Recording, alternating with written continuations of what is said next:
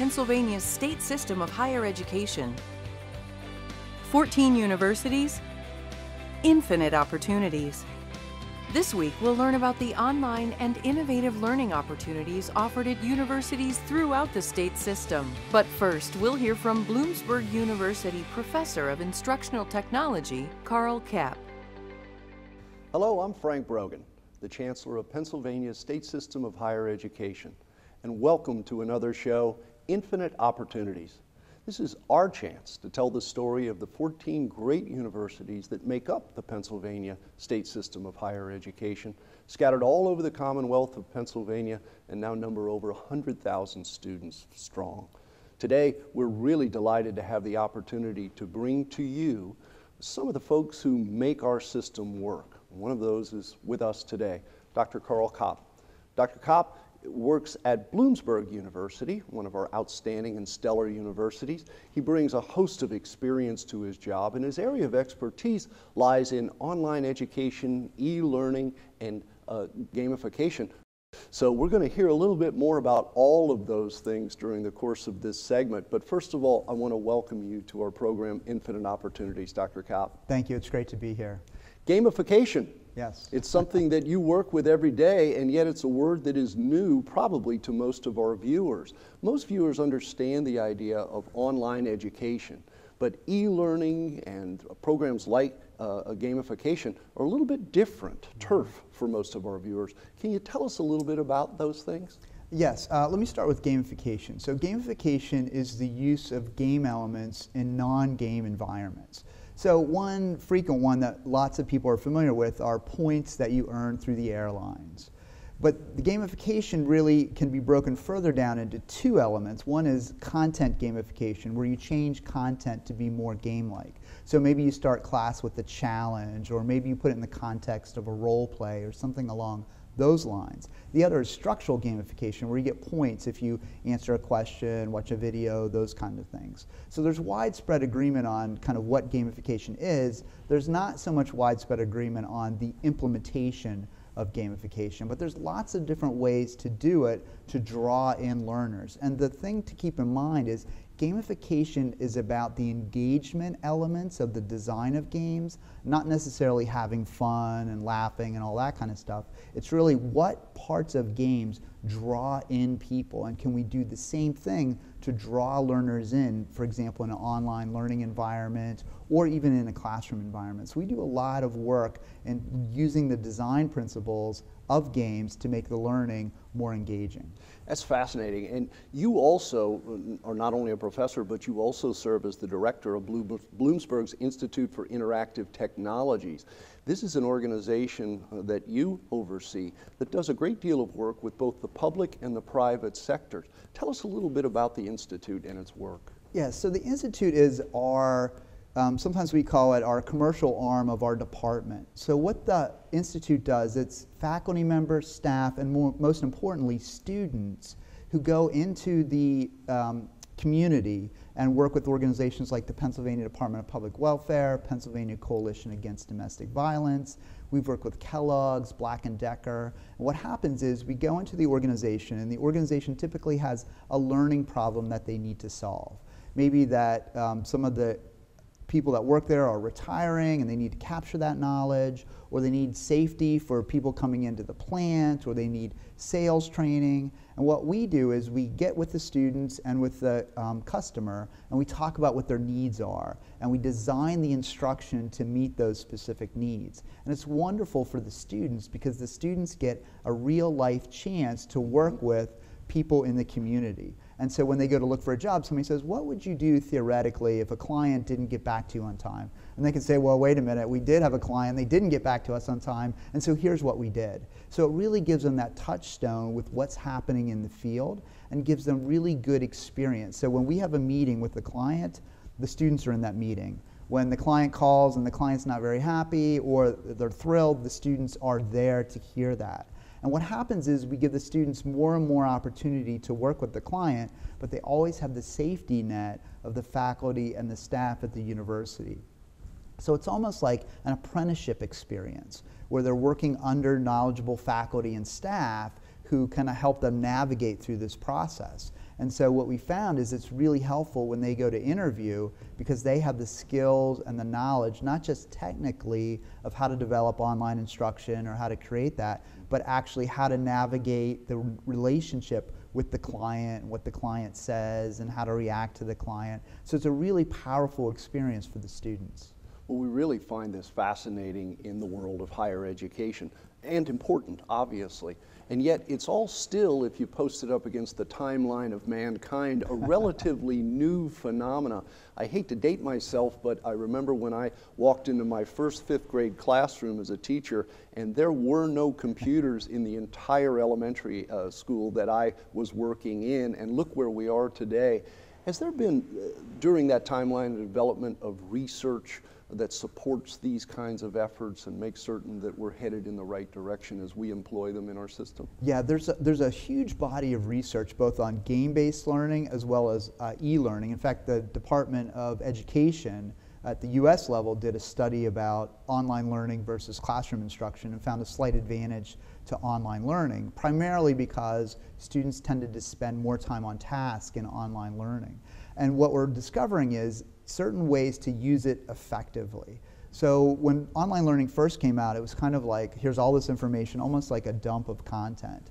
But we've now gotten smarter about discussion boards, we've gotten smarter about the use of video, we've gotten smarter about how to interact with the learners from a faculty perspective, and we've gotten smarter in how to make more interactive experiences. So online learning is no longer just looking at PowerPoint with a voiceover, but it's interactivity, it's engagement, it's things that really draw the learner in. And the nice thing is the learner can do it whenever. So now that it's available on a mobile device, you could be waiting in the grocery store and say, hmm, I don't remember what that concept was. And you could look at the concept while you're waiting to check out, something that you couldn't do, you know, 10, 15 years ago. Now, not everybody's going to do that, but you have that opportunity to learn wherever and whenever you'd like and bring learning to you in your own time and your own pace.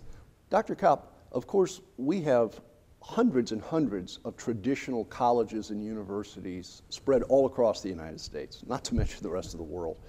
And a lot of people wonder what is the future of the traditional side of higher education as we do morph significantly into the world of uh, distance education and e learning? What's your take on that? Mm -hmm. I think it's really kind of interesting. If we look at the history of education, it started out as apprenticeships, and someone would study under a master, and then it became a little bit more industrialized, and we have uh, lots of people learning from one person. But technology now allows us to do that with the videos and things like that. And so, what I think is happening is what I call experiential or apprenticeship based scalability of learning. And so, we have, for example, a corporate advisory council that comes to campus uh, twice a year and evaluates our students. So in the classroom, I form students into teams, and then I have the students uh, respond to a request for proposal. And the students then present to this corporate advisory council, which give them the experience of interacting with corporate professionals. So I think one of the things is this kind of apprenticeship model. Another thing that we've done on campus is we've taken students to conferences, to industry conferences. And what that does, and, and you can never get that from an online experience, but what it does is you're there with a faculty member who guides you through the conference, who introduces you to luminaries in the field, who gives you the experience of interacting with these corporate people. And we even had students show off the online learning modules they developed. And one of our students won first place in the student award category, which was really exciting. So I think land-based universities are going to be more experientially focused in an area uh, where you can't get that from an online experience. You'll study with experts who will say, you know, here's how you would do that, here's how you would do this. Because one of the things that you can never get online is that look of confusion where a faculty member can step in and answer the question, or the reassuring pat on the back that, you know what, you're going to make it through this even though it's really difficult. And what it's going to be is project based, experience based, leadership based, where the faculty will lead the students through really interesting and relevant experiences related to their career? Well, I've been around a long time, so I'm almost afraid to ask this last question, but what do you think the future of online learning, e-learning, holds for us right, in this that, country that's a great and in the question. world? Yeah, uh, lots of really exciting things, I think. One is definitely mobile, so learning anytime, anywhere. Two, I think, is adaptive learning. So pretty soon it'll say, oh, Karl seems to have trouble on this particular concept, so let's give him more information here. Oh, Karl knows that concept, so we don't need to spend a lot of time there. The other thing I think, and this is, um, I think um, someone said the future's already here, it's just not evenly distributed. So a while back we had this 3D virtual world, Second Life was a good example, mm-hmm. and then it kind of went away. I think that's going to come back. So you have these virtual experiences where you go to a foreign country to learn the language, where you can go into a laboratory and do experiments, where you can interact with people from around the world in these kind of 3D environments. So I think it really is exciting, and and uh, what the future holds for our students now and well into the future is remarkable and, and really truly exciting. And we want to thank you, uh, Dr. Karl Kapp, for being uh, here with us today and sharing some of your expertise. But more importantly, thank you for what you continue to do for the students at Bloomsburg University and our system and the Commonwealth of Pennsylvania. And thank you for being with us today. Thank you. Coming up next, explore more opportunities offered at the universities in Pennsylvania's state system of higher education.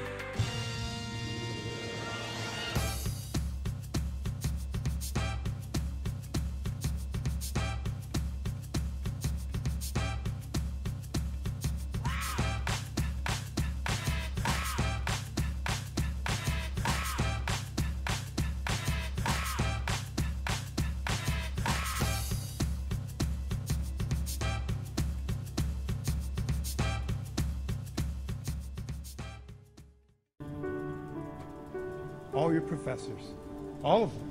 They know that all it takes is one dreamer with passion, one person, and they hope in each of you that you might be that one who makes a longer lasting light bulb, who writes music for the ages, who reaches into the mind and discovers a new star and who can change the world of a fifth grader. We're gathered here to hope in you. Welcome back to Infinite Opportunities. Next, we go to Clarion University to find out how online programs offer opportunities to students both in and out of the classroom. Can online learning equate to on ground practices? Can students actually learn as much, if not more? Here at Clarion University, we have uh, two different headcounts, if you will.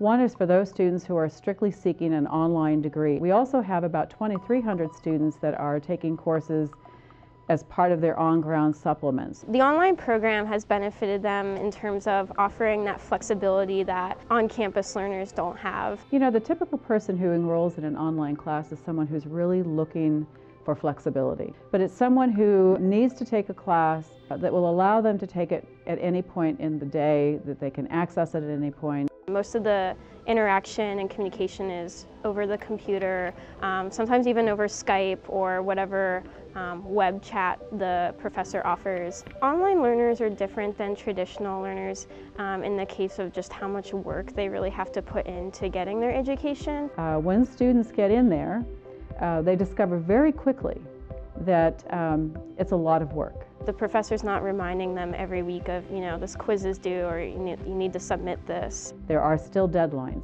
You still have to post your assignments by a certain day. You will still have group work. You will still have projects that you have to do. You have to be in your weekly discussions and they have to be done by a certain day. Um, they really have to be motivated to check their due dates and to get their work done and really have the self-management and the discipline to do it um, and do well at it. Well, in 2010, uh, the Department of Education actually did a meta-analysis, which is where they take all the research that had been done in online learning. And the results of that meta-analysis shocked a lot of people. And the reason it shocked a lot of people was that uh, clearly online learning actually demonstrated to be a far superior product students graduating with better outcomes, better knowledge, better content than those that were getting the same course on ground. The best modality for learning, however, was neither either or. It was actually a blending of the two. Some students do choose to take online classes on top of their regular on-campus classes, um, and that's usually for students who either um, just want to get ahead in their degree and graduate earlier, or for those who just want the convenience of not having to go to class every week. The future, I think, for Clarion, and I would say for the uh, state system, is tremendous. We are the number one program in the state.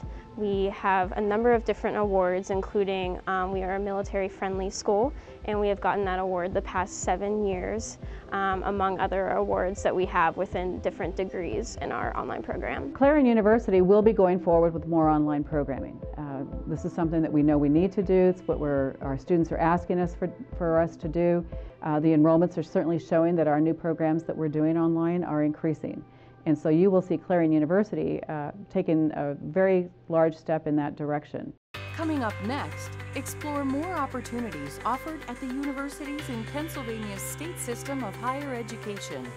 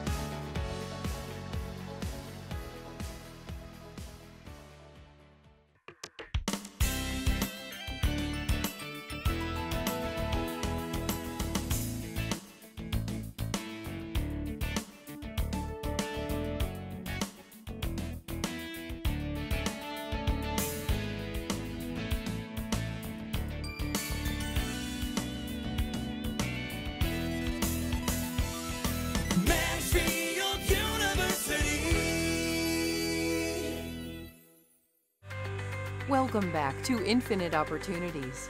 Next, we go to Kutztown University to see how professors and students connect in real time through online learning. Real-time virtual classroom, or what we call RTVC, is technology that allows a student to use a computer and attend class either in the classroom or from a remote location, whether it be their apartment, their house, a hotel room, if they're traveling for business. But they can attend the class using technology via their web browser. And even if the student's attending in the classroom, they often will log in to the web browser also and see the same thing that the student at home is, which is the desktop of the professor. So whatever the professor is showing on their desktop, PowerPoint presentations or software uh, picture, that's what the students see whether they're in the classroom logged in with the technology or at home remotely using a web browser. The Computer Science and Information Technology Department started using RTVC with the graduate program, and it made sense to start with the Computer Science Department because our courses already utilized a lot of technology in the lectures. And so all we had to do then was incorporate that into the, tech, the RTVC technology and broadcast the, what we were already doing in our lectures and broadcast the existing technology we were using to the students. I personally prefer traditional learning mode because in that mode I have live interaction with my students. Uh, online programs typically uh, don't have that live interaction with the students, but in RTVC mode, this is really great that I can have, I can enjoy both of those things. I have students in front of me and I have students sitting at home. They can ask me questions. So it's a virtual environment, virtual classroom environment for them. Our goal with real-time virtual classroom is for all students to attend when the class is scheduled. But if that's not possible for the student because they're traveling for work or they're sick, then the courses are all archived. So every lecture is archived within the technology and students can listen to the lecture again or listen to it for the first time if they were not able to attend. And this is especially helpful for disability services students. If they can't see everything or hear everything as quick as it's being lectured, they can listen to the archive. This term I'm having a student uh, who is uh, visually impaired. Uh, she, of course, cannot understand all the material in one class uh, sitting. She needs to uh, hear the lecture again. So since the material is archived on D2L, uh, that is a really great feature in RTVC mode. Uh, she can replay that thing at home and listen to the lecture. And if she has any problem, she can ask it anytime to the instructor. So that is one wonderful feature that I believe, and it's great help for her. I've had graduate students that are working and travels take them away for a week and they miss class, Or I've had students that have their jobs transferred them and they are three classes or even one class short of their graduate degree. And now real-time virtual classroom can bring them back to Kutztown to finish that one class and get their master's degree. One of the best parts about this flexible program is the ability to stay at home and attend remotely. And I get to stay at home where my computer, computer is configured the way I like it to be configured. I have two monitors, so while I'm watching the lecture and I see the faculty member's screen, I also can have my other screen open, researching whatever he's talking about. The ability to attend class remotely uh, allows you to free up a lot of your time and kind of focus a little bit more. Sometimes if you have classes all day long on campus, you just need to take a break, maybe sit at your own desk for maybe a comfortable chair. But the remote programs also have the ability for professors to write on the board as if you were in class. It shows up on their screen whether you're at home or in the classroom. So I think the comparison is, besides the fact you might be talking via a chat room instead of face to face, it's pretty much the same thing. There are no snow days at, anymore in our graduate program because students can attend online from their home even when classes are canceled at Kutztown.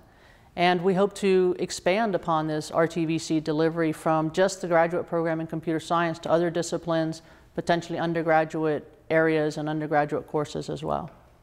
Coming up next, explore more opportunities offered at the universities in Pennsylvania's state system of higher education. Discover the years that will change the rest of your life. Come to a place that is home to different cultures that make us all unique. Embrace the chance to be a better friend, a better leader, a better you. Put your imagination to work in theater and the arts. Shatter records. Chase your dreams. Be a warrior. Create new ideas. Discover who you are and how you can make a difference. Discover ESU. I chose Bloomsburg because I liked how the class sizes were a lot smaller. I felt as if you get more of a real feel of accounting in the school. The program is known in the local region for just having the best program, the best teachers, and the most qualified staff. Just how great the professors have been really makes me think it was a great decision to come here. Bloomsburg University helps me to unleash. Helps me unleash my inner accountant.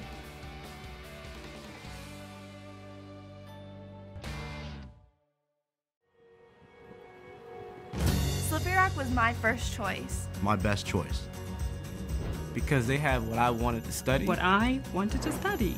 I love my major. I love the professors. It's so much more. So much more than a class. There's a tradition of success. Leadership. Community service, helping me through my major and bringing about success for my future. Slippery Rock has shown me the world. The Rock prepared me for my job. Slippery Rock University. Experience the difference. Welcome back to Infinite Opportunities. Next, we go to California University of Pennsylvania to discover how online learning is providing a path for students from where they are to where they want to be. CalU has been in existence since 1852, providing quality education through top-notch programs. We've taken that model to deliver education online so anyone can succeed at CalU. We actually offer more than 40 100% online master's, bachelor's, and certificate-based programs. We reach students from ages 20 to 60 and beyond, whether they want to start or finish an associate, a bachelor's, a master's, or even earn their doctorate degree. It works perfect for my schedule. Yeah, teaching all day, doing my lessons, wanting to spend time with both of my, my children. I have a, a four-year-old and a six-year-old. Maybe you got sidetracked years ago and you want to complete your degree. Or maybe you are a career professional who needs a degree like an MBA to get to the next level. Or maybe you just want to learn something new. At Cal U, we have a program that you can succeed in. We want our students to know that we're there to support them every step of the way. When I felt like I wasn't doing well, because I tend to be hard on myself, Professor Tony, he was like, Gail, you're doing a great job. Keep it up, you know, keep it up. It did make a difference. It's like, okay, okay, I can do this. I can finish this. We have students from coast to coast and nearly a dozen countries around the world. In an electronic environment, we are not limited to where our faculty can reside. So I am able to recruit faculty from all over the country, bringing their expertise to CalU. If you're an active duty service member stationed wherever in the world, you can complete your degree 100% online. We'll work around your deployment schedule and be flexible when you can schedule classes. Even if you can't be on campus, we'll provide the same support that you need to succeed. Our program was the first online program at CalU. We started with a group of 30 students, and now we have literally several thousand graduates. We're offering our first doctorate program at CalU online to reach the type of professionals that are already out there in the field. It's important to incorporate a wide range of media experiences, discussion items that enable students to be able to draw from their own personal experience and bring it back into the classroom. Our students create really tight bonds while they're in our program. And a lot of people would say that an online program, you wouldn't be able to get that tight bond. But in fact, they stay in touch. They go to conferences together. The feedback has been excellent. The students are so appreciative of the flexibility that the online environment allows them to have. They're able to work full time, address family obligations, but still have the opportunity to earn their academic credentials, all within the context of a bricks and mortar institution that has all the resources of a four year college and university and beyond. When you have the opportunity to go to school and be at home, you need to do it. It opens doors for me right now. Our mission is to provide a quality education that's affordable, that students can attain. So it's like, okay, now I have the master's degree. I'm in control of my destiny right now. Our global online programs will take you from where you are to where you want to be. Come back next week to learn more of the infinite opportunities at the state system's 14 universities or visit us online